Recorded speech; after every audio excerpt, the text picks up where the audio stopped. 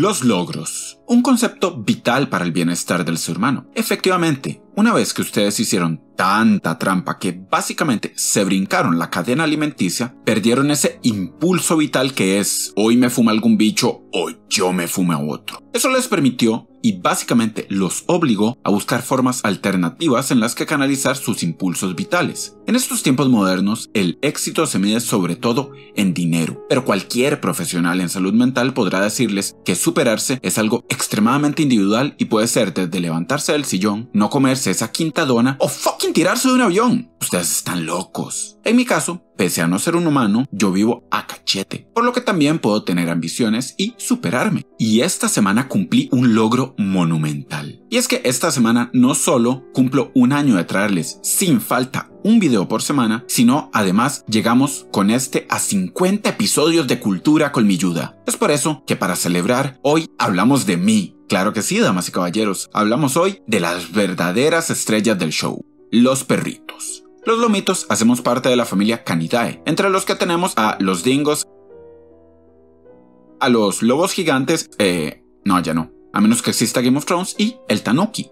Ese sí sigue vivo, de momento. Nuestro nombre científico es Canis lupus familiaris. Si recuerdan bien, el nombre científico de los lobos es Canis lupus, que son las dos palabras de latín, canis es lobo y lupus es perro. Ja, los tramé feo, claramente es al revés. Pero esa es la parte importante. Compartimos nombre científico porque compartimos especie. Efectivamente, tal como todos los lobos de todo lado son subespecies, nosotros también somos lobos. Por mucho tiempo se pensó que éramos especies distintas, y de ahí obvio. Si usted no piensa que el chimpancé es una subespecie del humano, ¿qué carajos le haría pensar a una persona que un poodle tacita tendría algo que ver con esta leyenda? Y aquí es donde entra la forma contemporánea de hacer taxonomía, el análisis genético. Y vea, yo no entiendo ni mierda, pero es que ni mierda genética. Pero básicamente, para crear todas las razas de perros, lo que se ha usado son perros. Es decir, que se juega con un código genético de tal forma que se crean cambios, pero en general la base genética es la misma. No me pida más explicación, yo no entiendo de mutaciones genéticas. Solo las vivo. Además, soy un fucking lobo, no tengo por qué dar explicaciones de nada.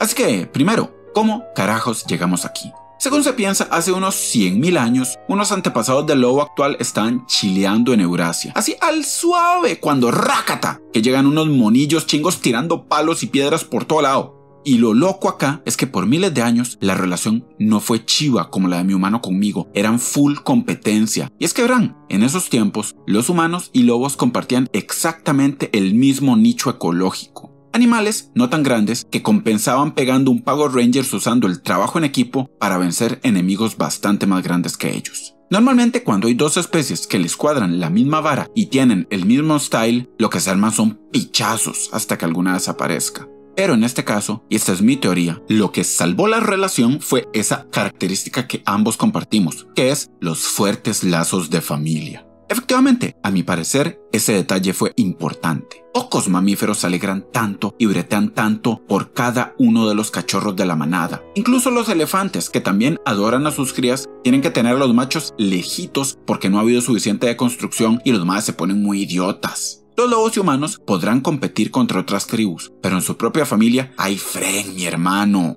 No importa edad o sexo. Eh, nada de esto aplica a muchas familias humanas modernas. Ustedes son bien locos. Dicho eso, en Eurasia, hace unos 25.000 años, unos lobillos se acercaron a unos humanos y por su lado, en vez de intentar fumárselos, dijeron, eh, ¿me regala algo, muchacho? Y los humanos, por su parte, en vez de tirarles piedras y palos, les pegaron una salvadita. Y a partir de ahí, el resto es Chihuahua. Efectivamente, ese primer acercamiento le dio chance a las dos especies sociales e inteligentes de ver en la otra una oportunidad. Con generaciones y años, los humanos vieron que esos bichos podían ayudar en todo. Cazar, llevar cosas, proteger y lo más importante, ponerse de pancita para que les hagan cariñitos. Ahí gana todo el mundo, gente. Con el tiempo, los humanos, que de siempre prefieren lo kawaii super cute, fueron prefiriendo a los lobillos que eran más amistosos, pero también que se veían más lindos, y ahí llegó la neotenia. Los más arratados tenían menos éxito, por lo que volaban menos rejo, y así poco a poco nuestras facciones se fueron suavizando hasta llegar a esta obra maestra. Y así fue como conseguimos la tercera parte de nuestro nombre, familiares, de latín familia, y eso es importante porque somos de la familia, al punto que un dueño de perros libera niveles similares de oxitocina, la hormona de la buena vibrita, cuando comparte con su lomito. Así que sí, somos etimológica y científicamente perrijos. No nos trate como humanos porque no le promete a nadie, pero sépalo. Es tan cercana la relación entre nosotros que evolucionamos músculos en las cejas y ojos para comunicarnos mejor con ustedes. Eso es insólito. Literalmente evolucionamos solo para poder hacerles ojitos. Los humanos nos llevaron a todo lado. Cruzamos con ustedes el estrecho de Bering, donde los perros antiguos se fueron en un ray muy loco hasta que se creó mi pana el Cholito. Según a donde nos llevaron, nos adaptamos al clima y según lo que hacía falta ahí, nos adaptamos para el brete que hubiera que hacer. Al punto que actualmente hablar de dónde están los lomitos ni vale la pena. No importa en qué país del mundo vea usted eso. Vea sus pies, ahí hay un lomito. Y si no lo hay, ¿qué putas está haciendo con su vida? Nuestras historias están completamente atadas a las suyas, a niveles que no se han visto en ninguna otra especie. Muchos otros animales han crecido en número gracias a los humanos, pero no han cambiado como nosotros. Las vacas son vacas desde siempre. Algunas con más carnita, pero no es como que algunas sacaron tres cuernos o se hicieron enanas. Incluso los gatos tienen sus razas, pero no son tantas ni tan variadas. Ni siquiera se puede hablar de temperamento según razas de gatos, porque independientemente de la raza, el gato solo tiene un modo estándar, el mal. De hecho, tampoco podemos hablar de velocidad, fuerza o hábitos de los perros, porque hablamos de todo tipo. El galgo inglés puede ir a 70 km por hora, mientras el bulldog, si corre, puede llegar incluso más rápido que el galgo, a las puertas del cielo. Algunos se van en misión a salvar a cientos de personas en zonas de desastre, o a lugares nevados a llevarle guarito a quienes más lo necesitan, mientras otros simplemente son bichos insoportables en el bolsito de diseñador de alguna chavala. Lo que sí tenemos en común es nuestro sentido del olfato. Mientras el mundo del ser humano es 70% visual, nosotros dedicamos 70% de la parte del cerebro que se encarga de los sentidos al olfato. Esto se traduce en que nuestro olfato es de 10.000 a 100.000 veces más hachudo que el de ustedes. Eso es lo que permite que a punta de olfato podamos detectar el cáncer o saber exactamente si ustedes prometen o si son una lacra. El que huele a crimen, huele a crimen. Y la presidencia de mi país honestamente apesta. Mientras ustedes en general, cuando describen a alguien, dicen cómo se ve, nosotros diríamos más bien, más se me huele a mierda. Por eso es tan importante que nos saquen a pasear. Aunque no veamos un perro en todo el camino, todos dejamos nuestro post en el Facebook en la calle. Sí, somos tan ajacha que nosotros podemos hacer ejercicio y doom scrolling al mismo tiempo. Somos el primer, más fructífero y más claro experimento genético que hizo el ser humano con lo exageradamente maravilloso y lo brutalmente desastroso que eso implica. En nosotros está la prueba comprobable en tiempo real de cómo funciona la evolución, aunque en este caso cuando se instrumentaliza. Los perros más exitosos logran volar más rejo y por ende sus genes pasan a nuevos perros, adaptándose a su entorno, aunque en nuestro caso el entorno es completamente humano, por lo que nos adaptamos a su capricho, al punto que algunos somos existencias viables, aunque con enfermedades congénitas de tantos primos sabroseando primas, mientras otros, como el bulldog francés, son tan mierdas en eso de existir que ni volar rejo por su cuenta pueden.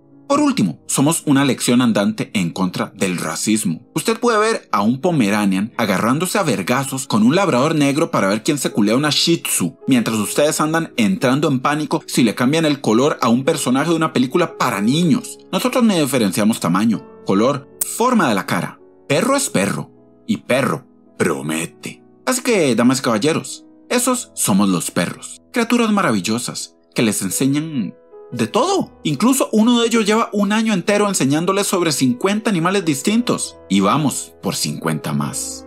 Llegamos al final del video, deseándoles que tengan un perrito a los tejones legendarios. Tania Mejías, Jacinto Francisco González, Danilo Rodríguez, Gabriel, Willer Villacorta, Alan Cruz, Pantáctico, Mavillarragar, Minjaz, Juan José Espinosa, Gabriel Isaías Díaz, Pablo Platino Cubero, Eric Valverde, Sisoji con J de Jauría, Mario Chicas, Leonardo Vázquez, Juan José Hernández, Oscar Ramírez, Catherine González, Jaciel González Vélez, Coqui, Roger Leonardo, Ken Caldi, Edward Soto Vargas, Noelia Anderson, Edwin Hernán Hurtado y el manatí sabroso.